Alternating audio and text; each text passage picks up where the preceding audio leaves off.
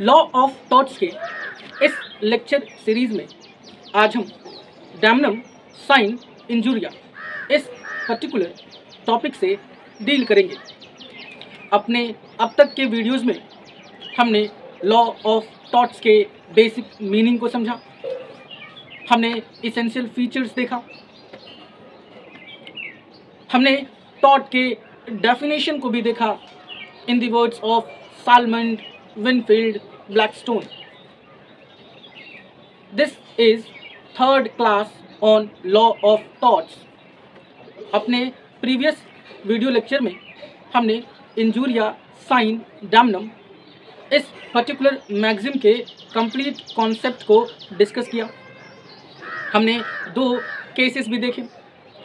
Ashby versus White and Bhim Singh MLA वाला case हम जानते हैं कि देर आर थ्री मैगजिम्स जो कि फाउंडेशनल बेसिस की तरह हैं, जिनके वजह से लॉ ऑफ़ टॉट्स इमरजेंस में आया है। लॉ ऑफ़ टॉट्स इवॉल्व हुआ है।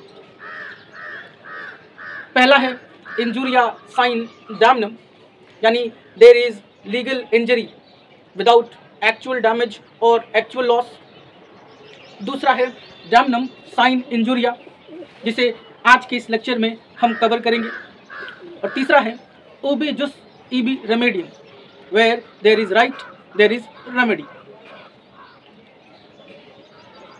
चलिए वीडियो शुरू करते हैं।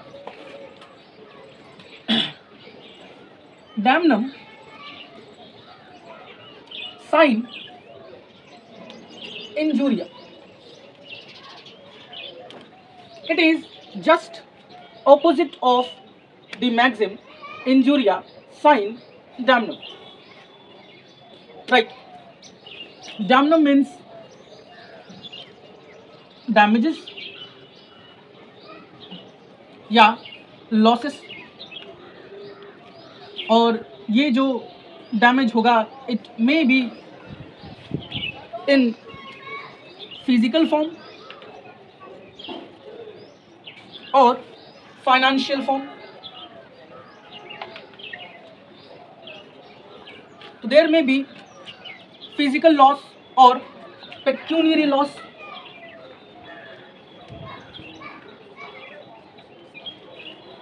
sign words indicate without or injuria means legal injury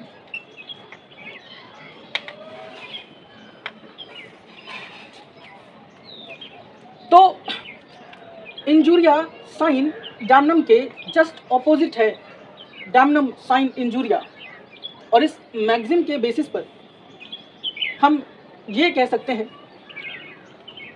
कि लॉ केवल उन्हीं टॉट्स को रिकॉग्नाइज करता है, जिसके वजह से दूसरे पर्सन के प्राइवेट लीगल राइट्स का वॉयलेशन हुआ हो।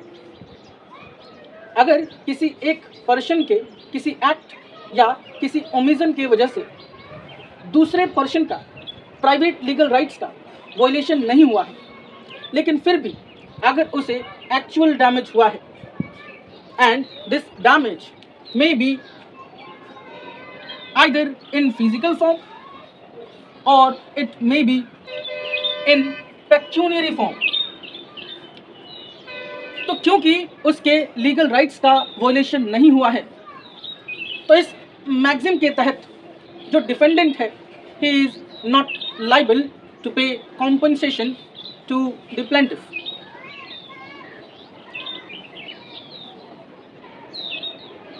right the concept of damnum sine injuria is essential in preventing baseless claims ensuring that legal actions are founded on genuine violations of legal rights. तो बेसिकली जो baseless claims होते हैं, उन्हें इस magazine के तहत रिकग्नाइज किया जाता है। और लॉ कहता है, हम केवल उन्हीं क्लेम्स को एंटरटेन करेंगे। उन्हीं एक्शंस के अगेंस्ट कॉम्पनसेशन दिया जाएगा। उन्हीं एक्शंस को रिकॉग्नाइज किया जाएगा, जिसके वजह से दूसरे पर्सन का प्राइवेट लीगल राइट्स का वॉयलेशन हुआ है। जितने भी सोशल रॉन्ग्स होते हैं,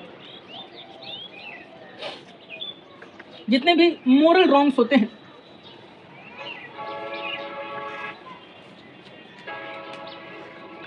ज़रूरी नहीं कि वो सिविल रॉन्ग हो। Taught is what taught is a civil wrong taught क्या है? It is a civil wrong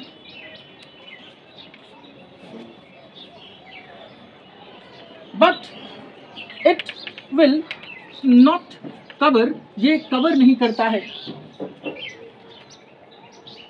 social wrongs को और मोरल रॉन्ग्स को। और ये भी ज़रूरी नहीं है कि जितने भी लीगल रॉन्ग्स हैं, वो सोशल रॉन्ग्स या मोरल रॉन्ग्स को कवर करें। तो यानी हम ये कह सकते हैं कि सोशल रॉन्ग्स या मोरल रॉन्ग्स रॉन्ग्स तो हैं, लेकिन ये लीगल रॉन्ग्स नहीं हैं। इसलिए इन दो रॉन्ग्स के बेसिस पर आप एक्शन नहीं ले सकते हो। डिफेंडेंट के अगेंस्ट में। आगे चल के अभी हम ग्लॉसेस्टर ग्रामर स्कूल और mayor and company of Bradford versus Pickles इन दो केसेस को जब समझेंगे तो ये जो दो रॉन्ग्स हैं social wrongs and moral wrongs क्यों ये दोनों रॉन्ग्स लीगल रॉन्ग में कवर नहीं होंगे, ये आपको समझ में आ जाएगा। राइट तो ये जो डैमनम शाइन इंजूरिया मैगजिम है, इस मैगजिम के तहत, इस मैगजिम के बेसिस पर जितने भी फॉल्स एलिगेशंस होते हैं, उन्हें प्रिवेंट किया जाता है। और ये देखा जाता है कि जो डिफेंडेंट है, उसका एक्ट क्या लॉ ऑफ़ टॉट्स में कवर हो रहा है या नहीं हो रहा है।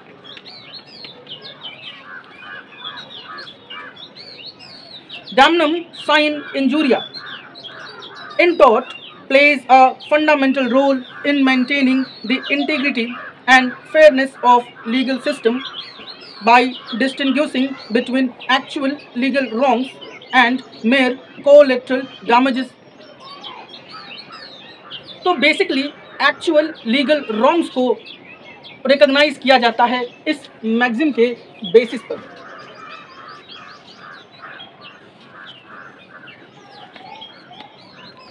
So damnum sine injuria means a situation where a person or entity suffers loss or harm but there is no violation of legal rights. And because there is no violation of any legal rights thus that individual or that institution is not able to claim compensation from the court. Because court on this particular magazine recognizes only those claims which falls under legal claims which falls under law of torts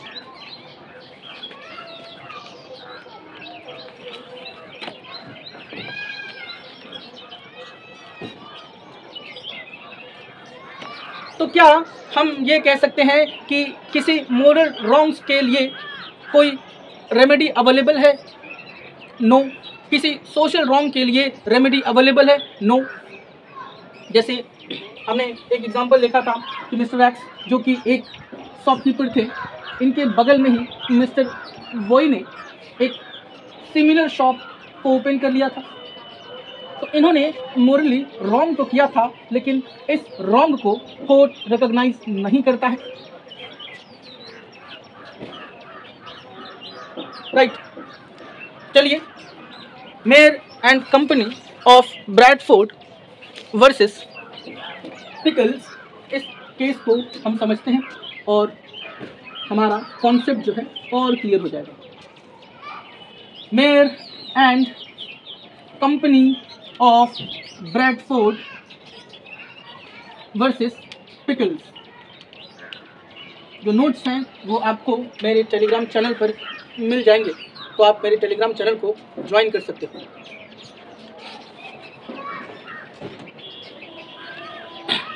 अच्छा इस particular case में क्या था? The Bradford corporation sued the defendant, claiming that digging a well on defendant's land had reduced the water supply to corporation's well causing them financial losses due to insufficient water for people within their jurisdiction तो mayor and company ने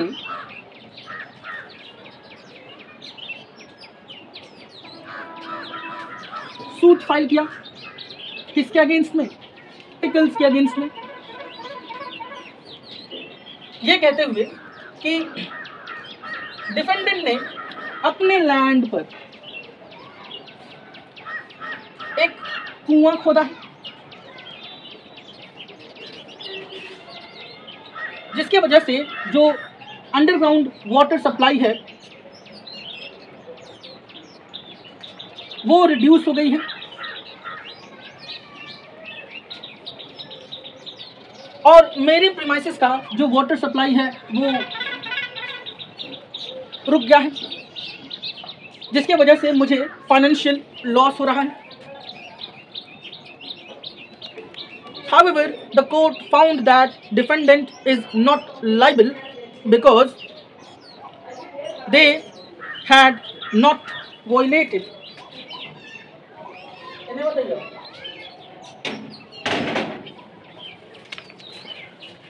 They had not violated any legal rights of plaintiff and concept of damnum sine injuria applied.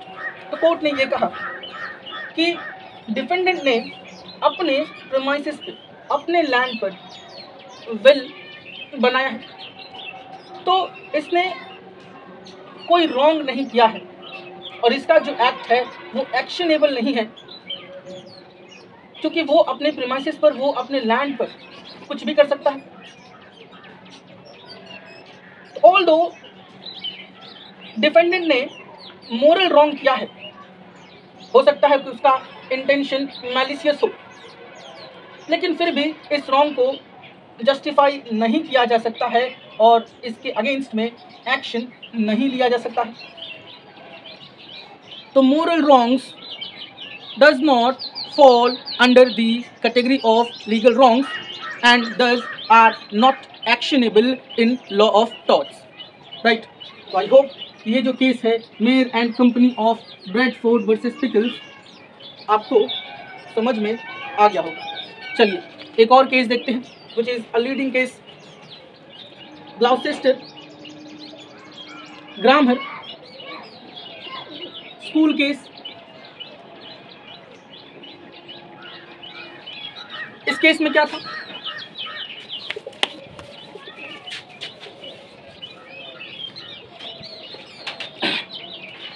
एक teacher जो पहले Gloucester grammar school में ही पढ़ाते थे, जो कि इंग्लिश के टीचर थे, बच्चों में बहुत फ़ेमस थे। इन्होंने अपना एक अलग स्कूल खोला, एक अलग स्कूल खोला, इसी स्कूल के जस्ट बगल में जिसकी वजह से क्या हुआ कि इनके जो स्टूडेंट्स थे, वो इनके स्कूल को ज्वाइन कर लेते। इन्होंने फ़ीस भी रिड्यूस कर दिया। तो इस ग्लॉसेस्टर ग्रामर स्कूल को लॉसेस होने लगा फाइनेंशियल लॉसेस होने लगा। तो ग्लॉसेस्टर ग्रामर स्कूल ने एक सूट फ़ाइल कर दिया। कोर्ट ने कहा कि no action can be taken against the defendant because defendant had not done any wrong और ये बच्चों के ऊपर है कि वो किससे पढ़ते हैं दे आर फ्री राइट तो इन कंक्लूजन हम ये कह सकते हैं कि लॉ ऑफ़ टॉर्ट्स में केवल उन्हीं इंजरी को रिकॉग्नाइज किया जाता है, जो लीगल इंजरी होते हैं। केवल उन्हीं एक्शंस को एंटरटेन किया जाता है, जिसकी वजह से दूसरे पर्सन के प्राइवेट लीगल राइट्स का वॉयलेशन होता है। Law recognises only legal wrongs and not moral और सोशल रॉन्ग्स तो ये था डैमनम साइन इंजूरिया का कॉन्सेप्ट जिसे हमने आज के इस लेक्चर में कवर किया। अब अपने नेक्स्ट वीडियो में हम ओबेजुस ईबी रेमेडियम के कंप्लीट कॉन्सेप्ट को डिस्कस करेंगे। अगर ये एफर्ट्स आपको अच्छा लगा मेरे वीडियोस किसी मैनर में आपको हेल्प करते हैं तो प्लीज़ चैनल सब्सक्राइब करिए वीडियोस को लाइक करिए और अपना सपोर्ट ज़रूर दें thank you have nice day